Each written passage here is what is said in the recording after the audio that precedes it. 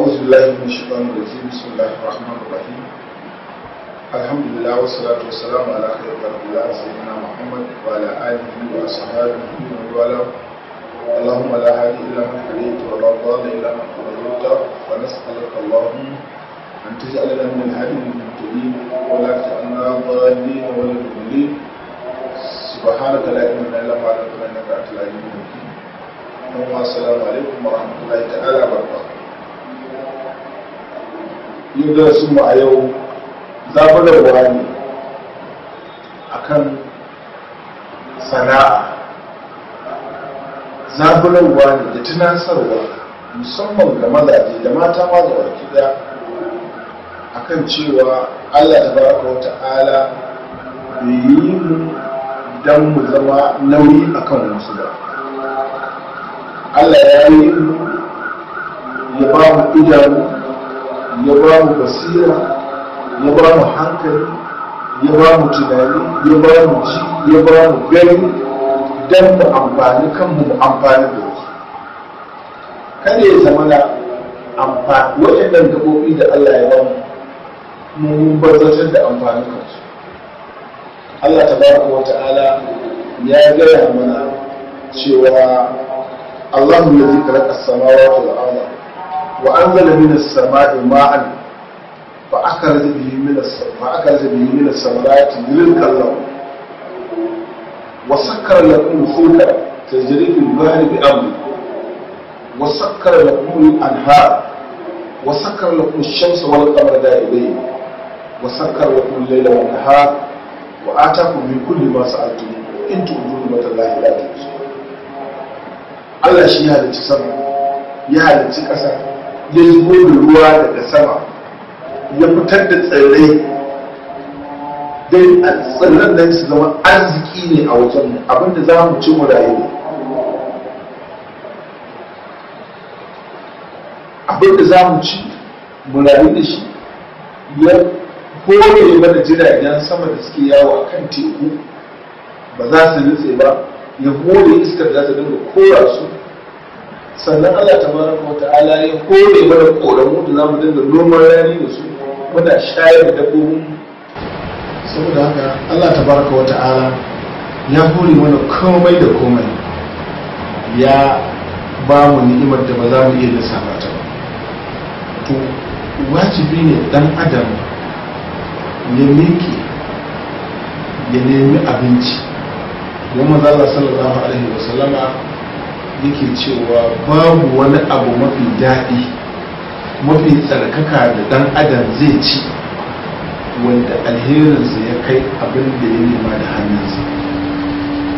Abin da ɗan adam ya nema da hannunsa ya samu da hannunsa to a ɗiyabul halali ke shi ne mafi daɗi mafi tsarkin halar da mutum ya samu. Manzala sallallahu alaihi wasallama ya gaya mana cewa wato inna Allah yuhibbu ar-rajula al Allah tabaraka wa ta'ala yana son mutum wanda yake mai sana'a. Allah yana son mutum wanda yake mai kaza-kaza Allah yana son mutum wanda yake mai neman na kanshi. Mai neman wato abin da zai ce al'aurarsa da kansa. Allah baya rabu Allah baya san wanda yake zama nauyi a wajen mutane. Wani mutum ya zo karfa cikin kuzari cikin lafiya cikin nishadi ya wuce ga wasu haɓar annabi sallallahu alaihi wasallam. Sai sahabban annabi sallallahu alaihi wasallam suka mamaki lafiyar shi da karfinsa da nishadinsa suka ce ya rasu da ƙarfin mutumin sa ina ma dai a cikin yaƙi ɗauka addinin Allah yake amfani da shi. Sai manzo Allah sallallahu alaihi ya ce wancan da ne idza kharaja yas'a li nafsihi fa huwa fi sabilillah. Idan duk zirga zirgar nan da yake da ƙoƙarin nan da yake ƙoƙarin ya samu abincin da zai kai bakin sa yake. Manzo Allah ya ce Allah yana rubuta cewa shi ma yaki yake sama ɗauka addinin Allah wa idza kana yas'a li shaykhain kabirain idan kowa yana ƙoƙari ne ya fito ne yana ƙoƙarin taimakawa uwarsa da ubansa da tije raunana ya kai musu abincin su ci. Manzala ce kana fi sabilillah. Ya ce idan kuma idan kharaja yas'a li auladin sigari ya fito ne yana ƙoƙarin nema wa 'ya'yansa ƙanana abinci. Manzala ce huwa fi sabilillah. Yana ce ɗauka addinin Allah ne. Ya ce amma idan kharaja yas'a li riya'in idan ya fito ne don ya nuna riya da takama da girman kai ya ce huwa fi sabili shaitan wannan shi ne yake akan hanyar shaitan ma'ana ashe wanda yake ta ƙoƙarin neman na kansa wanda yake ƙoƙarin ya sana'a wanda yake ƙoƙarin ya rufe asirin kansa ya hana kansa wato roƙon mutane. Kar ka ɗauka cewa ba ibada yake ba. Wannan abin shi ma ibada yake. Domin sai da usman yake cewa ya ce madalla da dukiya madalla da kuɗi da suka taimaka min nake biyan bukatata kuma nake wato neman yarda ubangiji na da su. Ma'ana duk buƙatar ka za ka biya da kuɗinka kuma ka nemi yarda ubangiji ta taimakon mana shi ta sada zumunta da shi ta gina makarantu. Ta gina masallatai ta kosar da mayunwaci ta sitar da wanda yake cikin tsiraici ta saya magani da mara lafiya duk da neman yarda ubangijinka. In ba da kuɗi ba ba abin da za a yi. Har abada mawadata masu biyan Allah suna gaba da talakawa masu biyan Allah. Domin haka ya zo a hadisi zahaba ahalin usuli bil ujuri. Masu kuɗi sun tafi da lada domin sallar da talaka yake yi su ma suna yi. Azumin da talaka yake yi su ma suna yi. Duk abin da talaka yake suna yi sannan wani sun da ƙone bisu da amfani kuma suna yin sadaka da abin da ya saura na dukiyoyinsu bayan bukatunsu. Ta so da kaga a shi wato allah ta farko wata ala da kansa da yake maganar wato kaso uku na muminan da ya kamata a tausaya musu wajen ibada da wajen lamun birnin dare. Abinda allah ta farko wata ala ce alima allah ya san cewa an yi kuna muku marda. Daga cikin ku akwai marasa lafiya. Wa akharuna yabtaguna fil wasu kuma sun shiga yadarbuna fil ardi yabtaguna min fadlillah wasu kuma sun shiga duniya. Yadarbuna fil ardi yabtaguna min fadlillah suna nema daga faralar Allah ma'ana masu neman abinci fataki masu sana'o'i ya ce wa akharuna jahiduna fi sabilillah akwai kuma waɗanda suke yin yaƙi saboda hauka addinin Allah.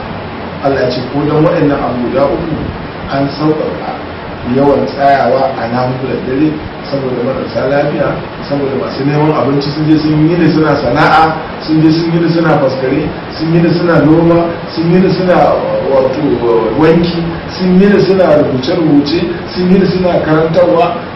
To kuma a dawo da dare a ce da kiyamun laili Allah ya ce to saboda waɗannan da waɗanda suka kwana suna yaƙi suka kwana suna tafiya akan dawakai da raguma yanzu ana sauke su kuma a ce a ina mulkulin dare? Allah ya ce to ya ce a dan sauƙaƙa a dan sauƙaƙa. To kaga a cikin jerin ukun nan a cikin waɗanda Allah ya sai ya ce wa akharuna yadribuna fil ardi yabtaguna min fadlillah waɗanda suke yawo a duniya suke shiga lungu-lungu kurfa-kurfa don neman farar Allah ma'ana neman abinci. Waɗannan mutane ne wanda za a girmama mutane ne ba za a salari su ce Allah yana son su. Sai na umar yake cewa da yawa mutum ke kayatar da ni ya burge ni. In tambaya wancan ba me sana'a sa? A ce ai bai da sana'a sai ji ya faɗi kima sa ta faɗi a waje. Sai ji bai da kima a shi. Hasai na abdullahi yake cewa ya ce ai neman kuɗin da zai sa ka wahala ya fi zaman banzan da zai ce kai wani ne. A neman kuɗi ka wahala ka yi jibi ka samu abinci da baka roƙi kowa ba. Ka je ka ci abinci kai da iyalinka. Ya fi ma ka zo ka zama kana roƙon mutane kana bambaɗanci. Kima ka ta zube mutuncin ka ya zube ko da sun baka a duka a wani duka ko sun baka ko sun hana ka to kima ta zube mutunci ya zube. Duk abin da zai zubar da kimar musulmi musulunci bai da shi. Duk abin da zai zubar ma da daraja musulunci bai da shi. Musulunci abin da ya da shi ka tashi ka nema ka yi amfani da tunaninka ka yi amfani da kwakwalwarka ka yi amfani da gaɓoɓinka duk hanyar da ake nema ka samu. Abin da ka samu shi ne gwagwada abin da allah ya zaka da shi sai ka yi wa allah godiya a kan wanda duk zai taimake ka ya taimake ka a matsayin mai sana'a. Kan ya taimake ka a matsayin mara sana'a. Ko da kuwa akwai na kasa a tare da kai wannan na ƙasar ta bar ma wani ɓangaren da za ka iya wata sana'a ko da wani Allah ya samu dace. Allah kuma taimake mu a zamanin sallallahu alaihi wasallam. Assalamu alaikum wa rahmatullahi wa barakatuh.